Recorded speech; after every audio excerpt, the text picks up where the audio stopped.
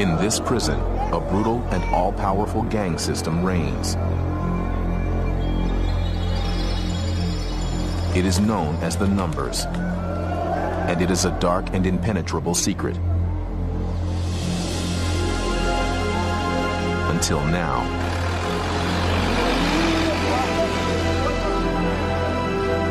This is the story of a daring and dangerous mission. To reach into the hearts of hardened criminals, change them, and challenge them to resist the lure of their old violent ways.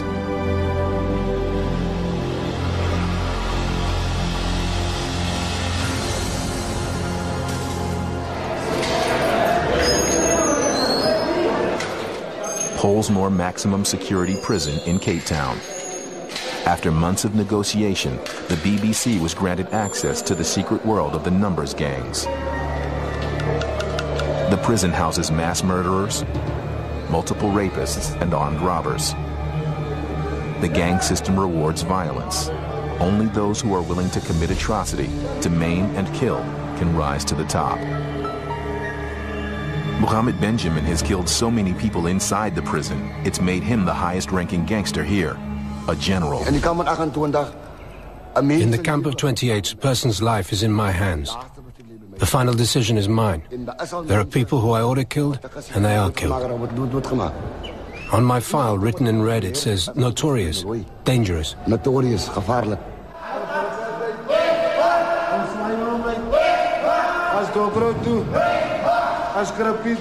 Most prisoners here are awaiting trial. It can take up to four years for a case to come to court. While they're here, the numbers gangs can trap them for life.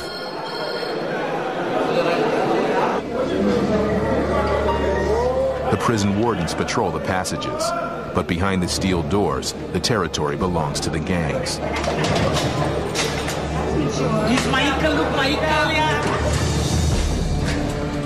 They have their own elaborate military hierarchies, their own laws, their own codes of conduct and punishment, and until now, an unbreakable code of secrecy.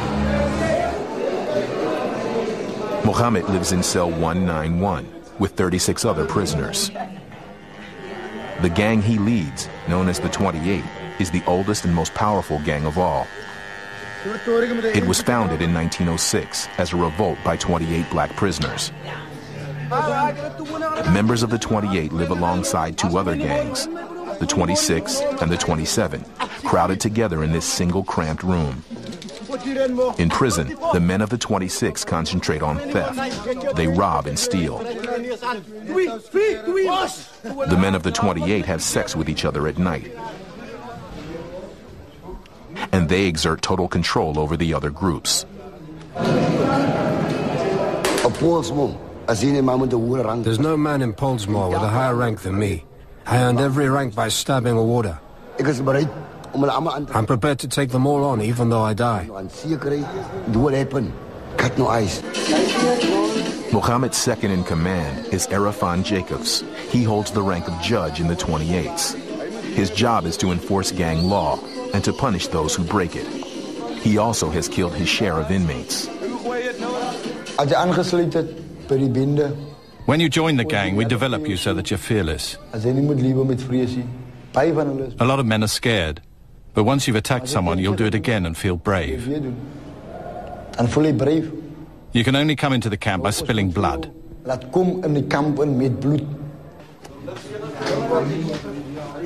gangs demand constant demonstrations of loyalty. They carve the emblems of their allegiance into their skin. This is their uniform.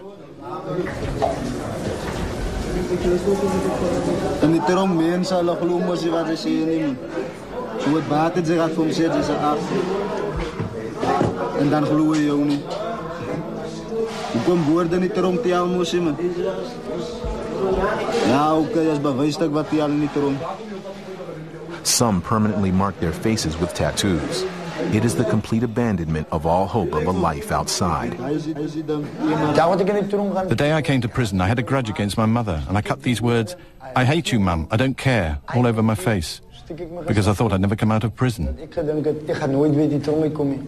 Stiek ek die woorde, I hate you mom, en spit aan my grave.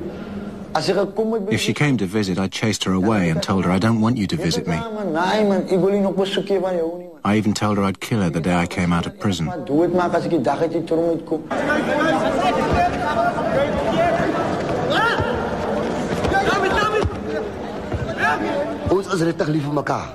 We really love each other. I'm prepared to die for the next 28, and he's prepared to die for me. I'm prepared to commit murder for him. Moord te pleeg vir hom.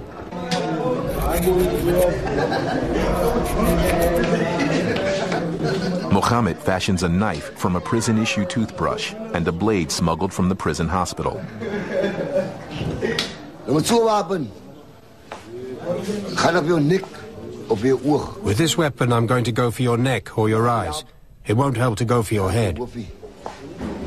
I'll stab you in your eye, and when you grab your eye, I'll stab you in your neck, and then I stab you to death by cutting your artery. Daar is slagades. That's one way. Van die een kant. En van die ander kant moet This is one object, but two knives. This way, I can attack more men at the same time. Zoiets weet ek al. Meerdere manne kan ek aanval. Met die mes. The prison's wardens are natural targets for the gangs. They're only lightly armed with batons and tear gas. And they're outnumbered 100 to 1 by the men of the Numbers gangs. One warden discovers that he's been selected as a target. Someone in the Numbers has plans to stab Barry Kutsia as a test of courage. 'n Nommer is geroep op my en dit beteken ek moet opgesteek A number's been called on me, which means I'll be stabbed or cut with a blade. My blood has to flow, Met of sterwe of hy moet ten minste so it could mean either I die or I bleed. dis wanneer daar 'n nommer geroep is. There's no way you can defend yourself. It's terrifying.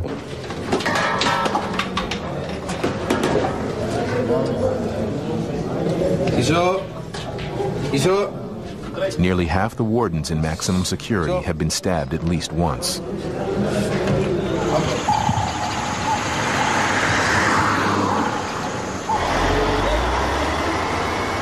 The road to the numbers gangs begins even before a newcomer arrives in prison, in the back of the police truck that brings them here. Many newcomers, known as birds, are forced to carry drugs or weapons inside their bodies. Once the birds enter the prison, gang leaders scan the reception area for new blood.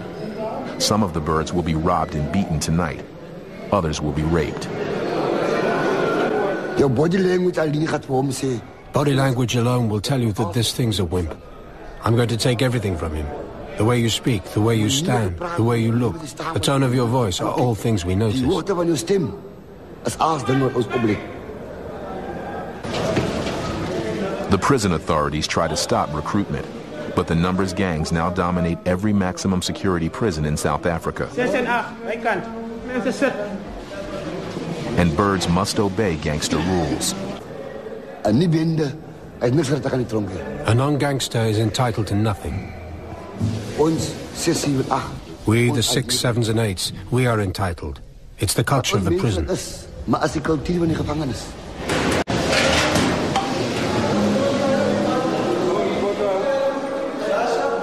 At lockup time, the wardens retreat from the life of the prisoners.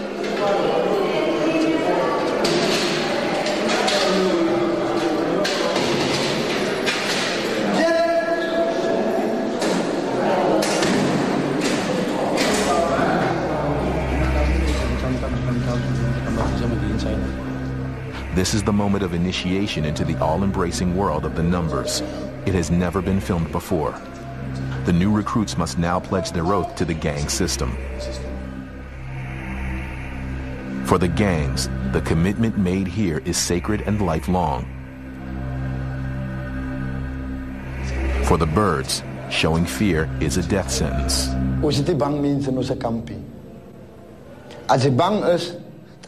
We don't have scared people in our camp. If you're scared, you could betray us. If we see you're scared, we'll kill you. Daai in die jare het gebeur. Being untrustworthy is another fatal error. Mohammed recalls conducting a gruesome murder of one unreliable inmate. I was naked so that the blood wouldn't splatter my clothes. I was the first to sever the artery. The heart was removed and eaten. I personally ate first.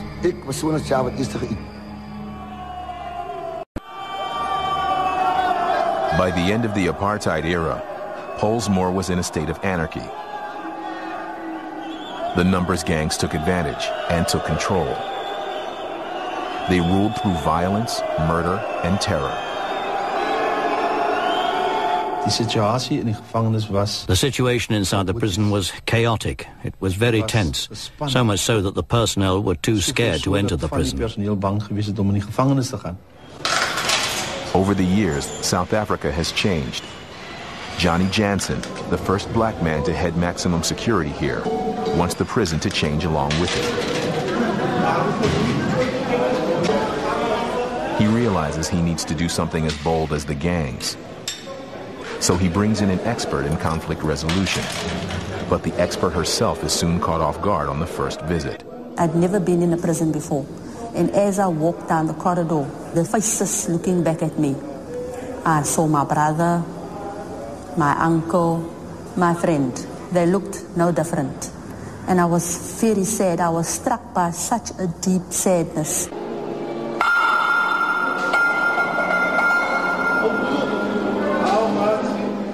Locked in their cells, the men of the numbers exchanged their messages. They agree that Joanna is a threat to the gang system. Thomas M. Galobert, senior member and fighting general of the 26, is the most hostile. I first thought Joanna had come to kill the number. And if you try to kill the number, we must kill you first. This Joanna had to be stabbed in here. I did everything in my power to stab her. But perhaps God was with her without her even knowing. Sodat laat sy weet, seker God wat saam met hom. In cell 191, the inmates meet to discuss Joanna and the threat she poses. To one another, they voice their fierce loyalty to the numbers and its code of violence. But privately, some view Joanna as a chance for change. Die bendes in die tronk. The gangs inside prison will keep me here. Why? Because they need me. Nodig hier. My wife and children want me outside because they need me there. Nodig aan buitekant. I can't be in two places at the same time. No, it Now it tears a man apart.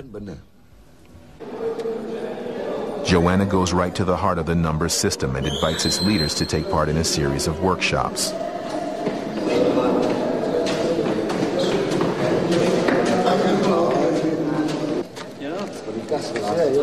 They gather in an isolated cell in the prison roof.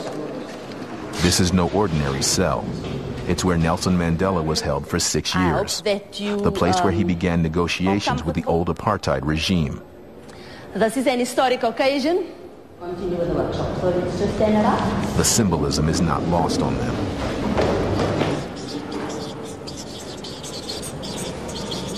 Welcome to the Change Begins With Me series. My role is to facilitate a process where we can share the wisdom, the knowledge, the experience that lies in this room. And so I want to encourage each of you to participate. Joanna's goal is to help the inmates resolve conflict through dialogue, not violence. Their skepticism is universal. Most men here have killed in cold blood. Violence is the only way they know. So we're going to go right into our exercise now. She encourages members of rival gangs to drop their guard and mingle indiscriminately. Okay, groups of five.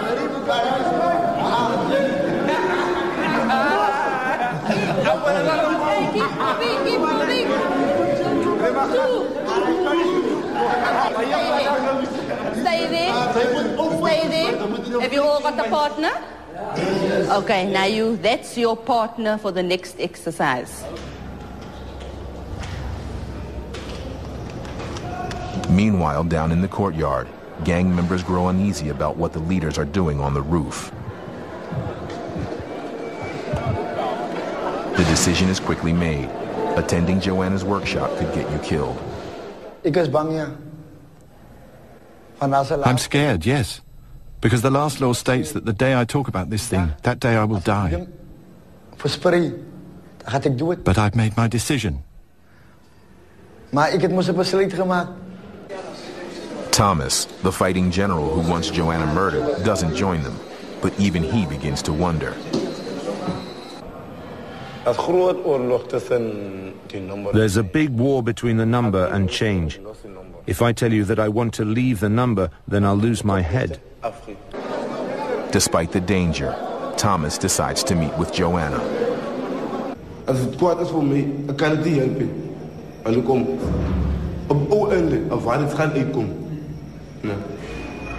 Dag, Joanna hier komen die troon. Elke keer nee man. Joanna is bezig om een nummer van 26 en nummer 28 en nummer 27 dood te maken. Dat was ding wat. In ons uit.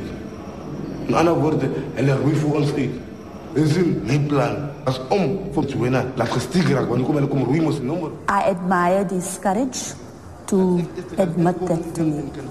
And it actually inspired me to build a relationship with him. I think the risk was probably greater for him than for me. Ik jou recht verstaan. Jij wilt deelnemen. Geen programma.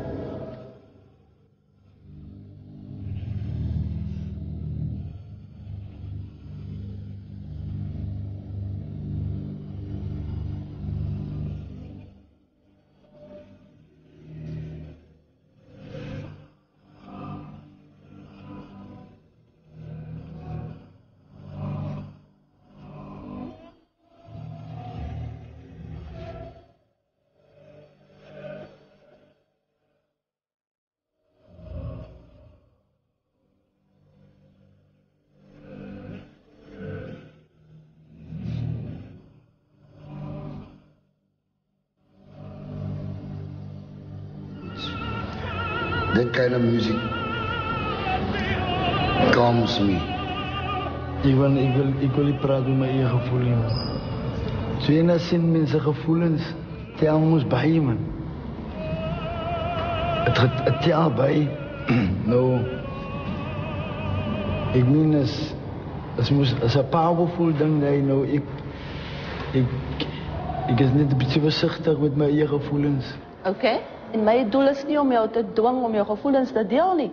Maar als ons ook iets te helpen us understand conflict. Wat doen ons met onze gevoelens in die tronk? We press it down.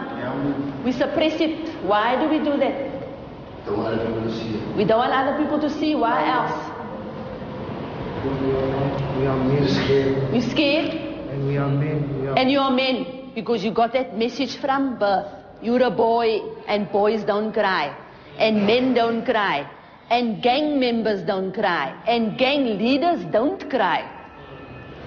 Dankie, hier kom mense. Pas hier.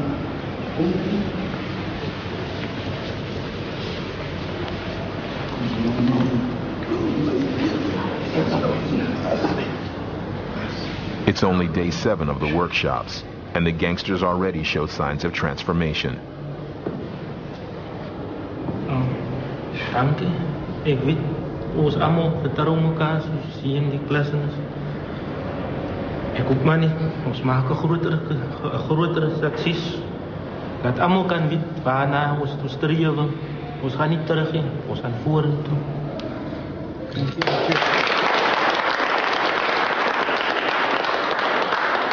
You can stand there and you can take a big leap. What do you mean run and just jump? Just jump. Okay guys, I'm gonna do this now because I want to feel the way I've never felt before. I've never been kissed by people in my whole life. Right? I'm ready.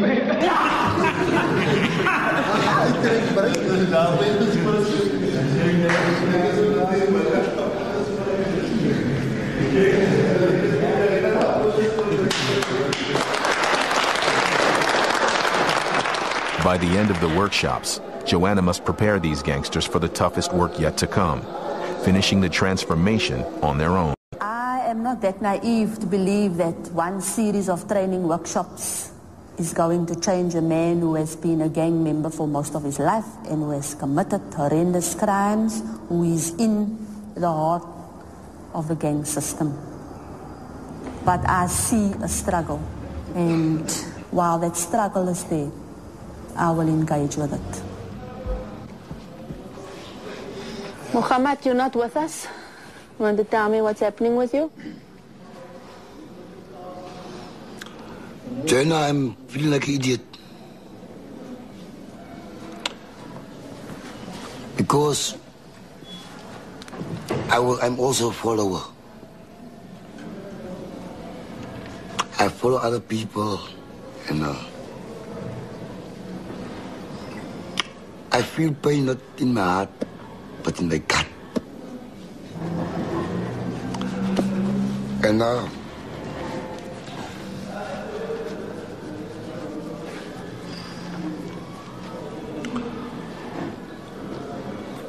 I feel pain for all the pain that I've caused in other people's lives, in my family's lives, and my, my life too.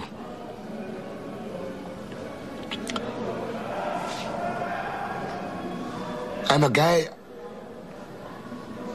I'm not scared of anything.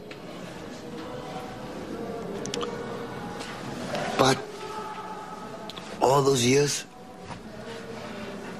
my actions was idiotic. And I feel like an idiot.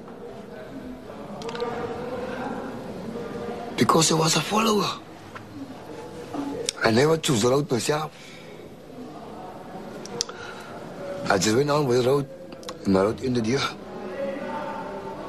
For 34 years, I spent here.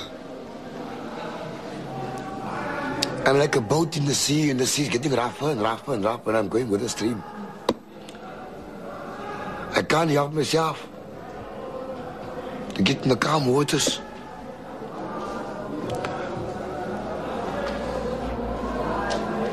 And for now, that's all I'm going to say.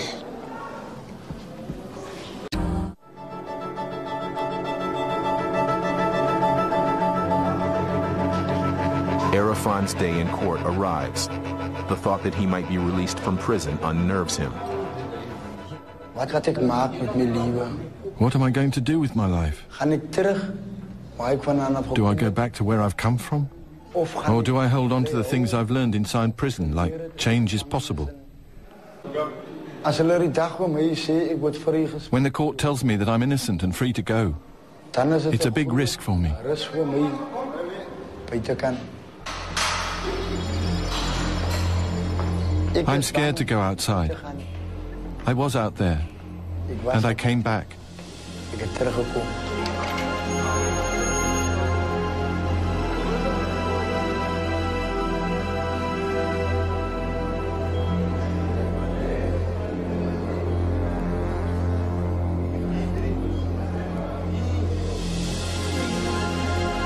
Arafan has no choice but to face his fear. The judge throws out his case. He's free to go.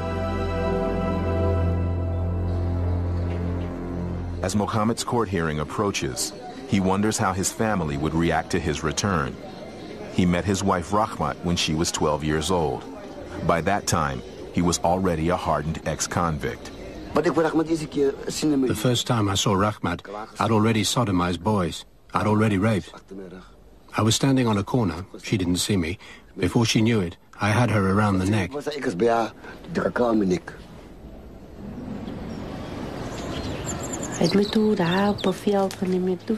He dragged me to a field and raped me. For 30 years, I had other boyfriends. I had children with other men, but I never felt what I felt for him. Maybe it's because he was my first boyfriend.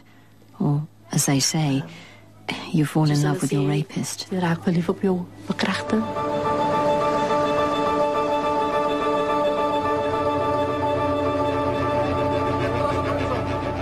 This is the community that Mohammed and Arafan must face when they leave prison.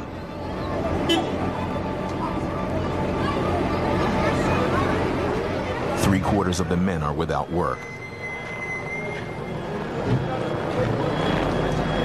The police cannot enter some neighborhoods without military support. Each day, some nine murders and 31 armed robberies are committed.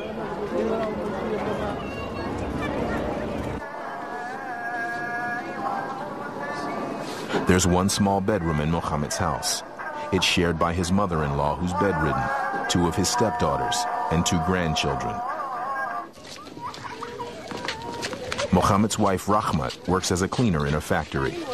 She earns $40 a month. She is the family breadwinner. If there was somebody else who worked in this house, things might be better. I can't give my children what they want. So it's very tense in the house. Shafika is one of Mohammed's four stepdaughters with two children of her own. She is HIV positive. I'm unhappy in this house. I want to be on my own with my children. I feel like a prisoner. Fuzlin is Mohammed's youngest stepdaughter. She has the most to fear from Mohammed's release. The last time he was home, he attacked her at a railway station. She was just 13. He had a knife and said if I scream, he'll stab me.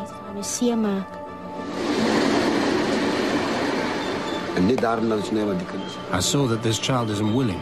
She's not prepared to do this. So I began to force, force, force, force, force, force.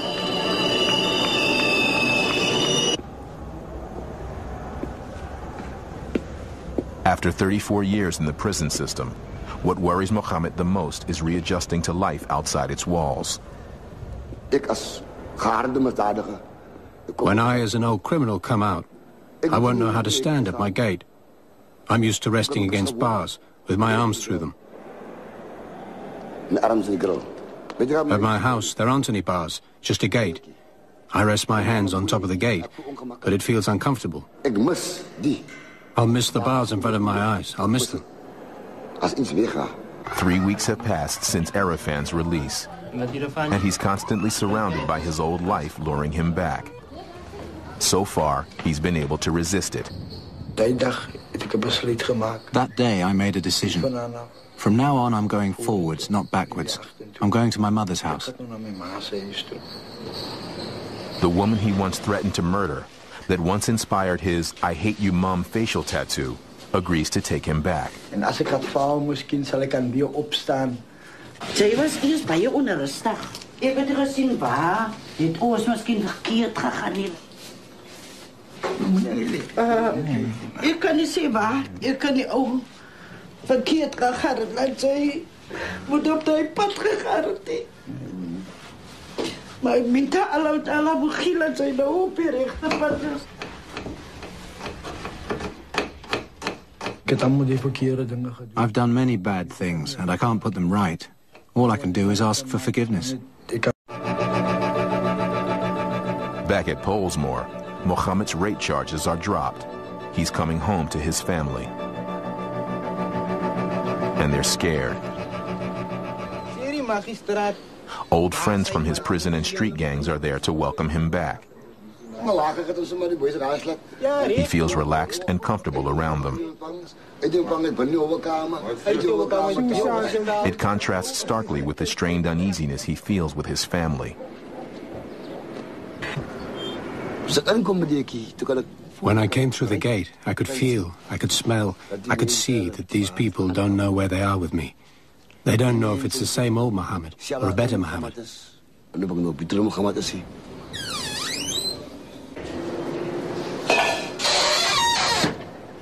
As the days pass, Mohammed grows more and more distant from his family. Ek kyk hier. Ek tel hy nie man. Kom, wat sê jy? Each and everyone decides when and how they want to eat. Never is a round table with the whole family.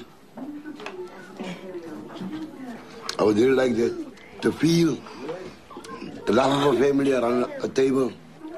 But here, the love ain't there.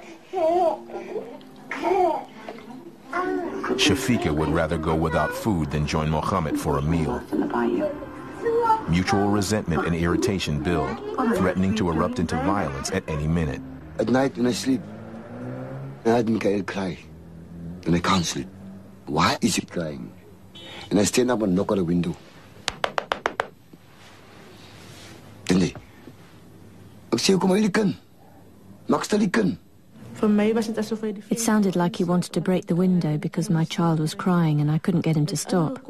He came in and threatened to beat me.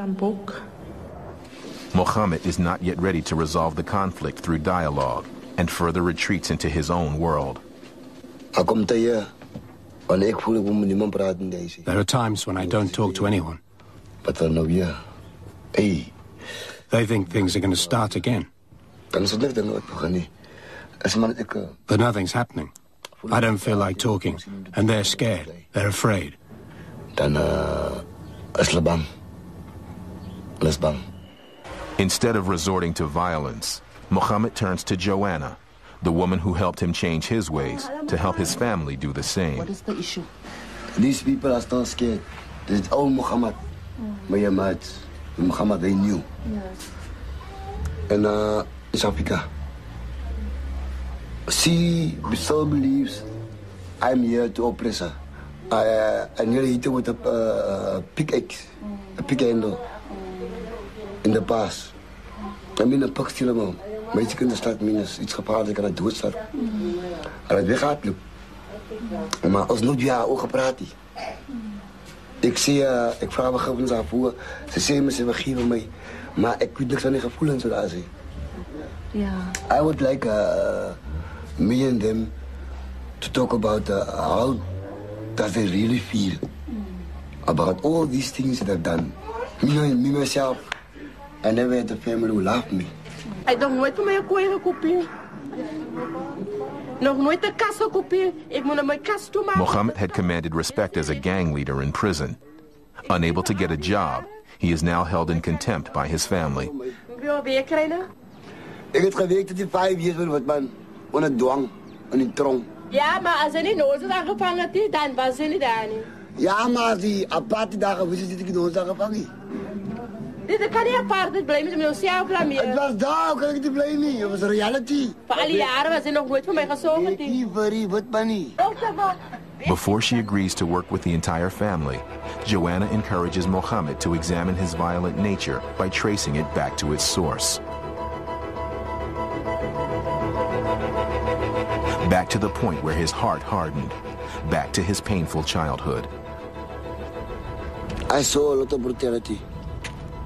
I saw a lot of people hurting other people. And as the years passed by, I became involved in this turmoil.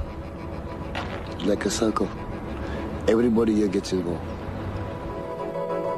Mohammed's mother died of tuberculosis when he was just nine. Dag, als ma afsterven. The day she died, I couldn't cry. With her death, everything died.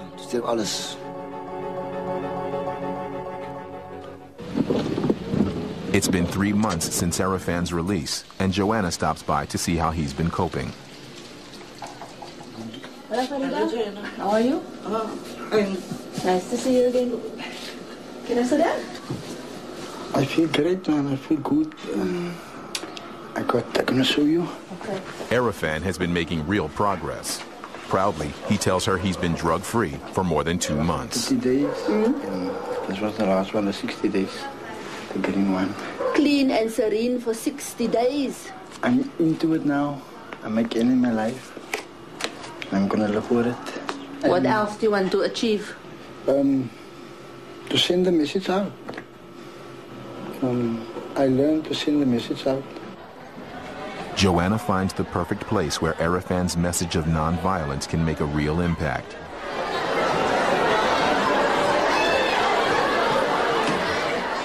Wat ek vir julle wil sê is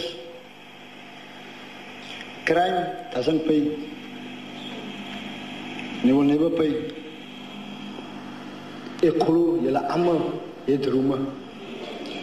En no matter wat dit is, maar try net om positief te dink.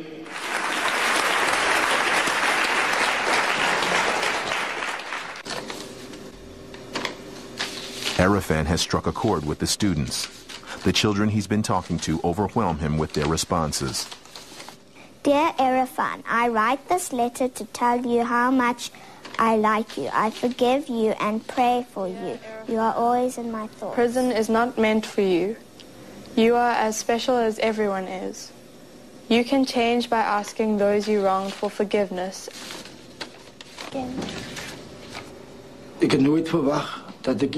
I never expected to get support from children.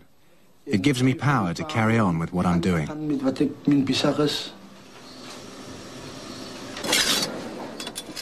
Back at the Benjamin house, Mohammed works hard to improve himself, but it's an unrelenting battle.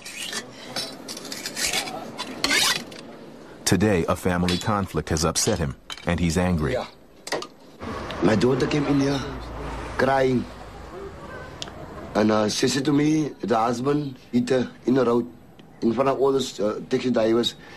En uh, hy sê vir haar toe, hy is nie bang vir my nie. Ek kan my 28 broers haal.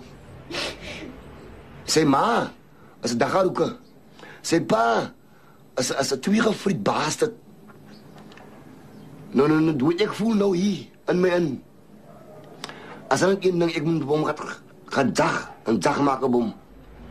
I like to kill the whole family. I don't care what the consequences may be.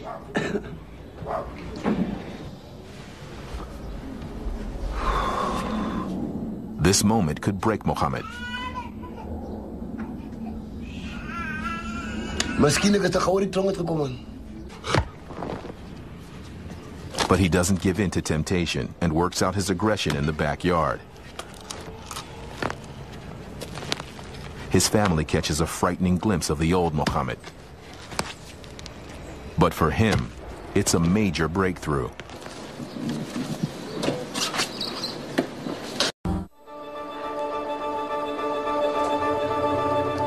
Arafan is about to take the biggest step on his journey toward redemption.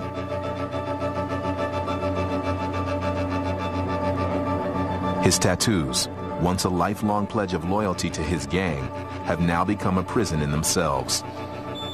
Hearing Arafan's story, this Cape Town doctor offers to remove them for free.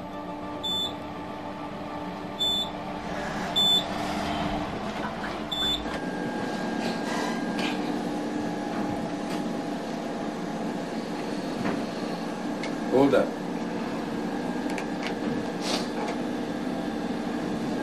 En om te ding, ik bly saam met my ma in een huis en um, kyk elke dag na. Ek droom elke dag om te net laat ek net die kan van my gesig afhaal en dat ek maar net 'n normaal lewe kan lewe.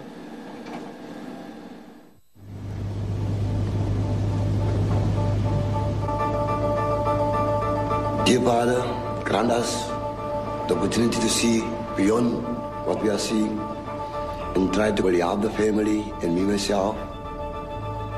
Lord, everything that I'm asking, I'm not asking because I'm deserving, but I'm asking it in the name of Jesus Christ. Amen. Thank you, Muhammad. Let's have a seat there. At Mohammed's insistence, Joanna agrees to run a workshop for his family. She pushes them to talk about life together again and insists on brutal honesty. Yeah. Living at 61 Essachai Street is like. Give me the picture. It feels like a graveyard. Feels like a graveyard. Very cold. When there's nothing, no food, no money, no electricity, then there's no warmth. Then like everybody is dead. It's Ice, ice cold. There's no love. There's no understanding. There's nothing. So are we saying here all are guilty? Yes. yes. Very angry when the kids is crying in the house and the adults are there on the spot. But the kids are crying. And that is one thing that makes me very angry. A child must cry. Even during the night. He must cry. I'm tired, I'm sick. I can't do it. I cannot, cannot do it anymore. Then they break for lunch. Astonishingly, it's the first time they have ever, as a family, sat together for a meal.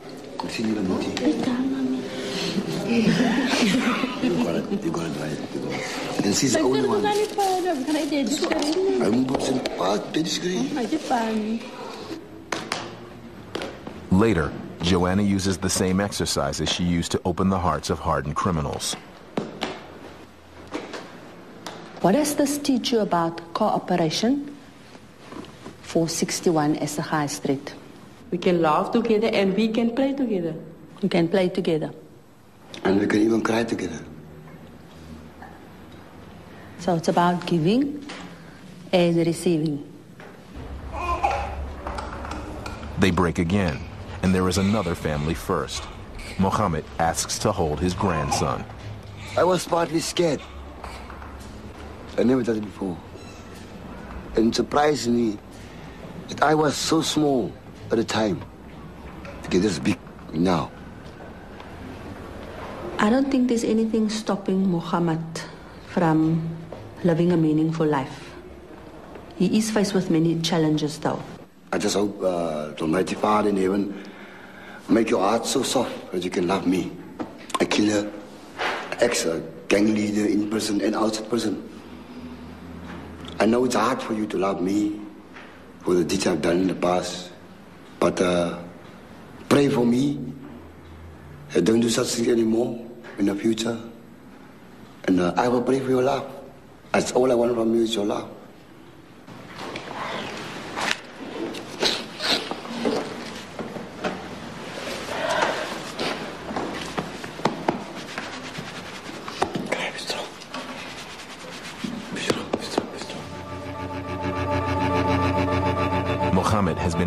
Been outside for seven months now, far longer than at any time since he was nine years old.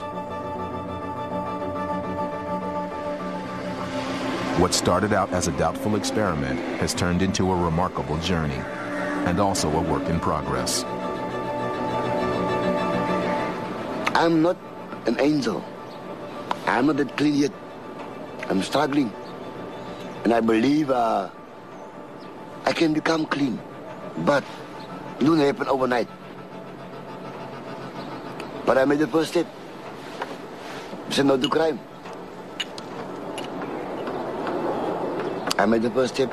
I made the choice uh, not to go back to prison again. I'm gonna get it right.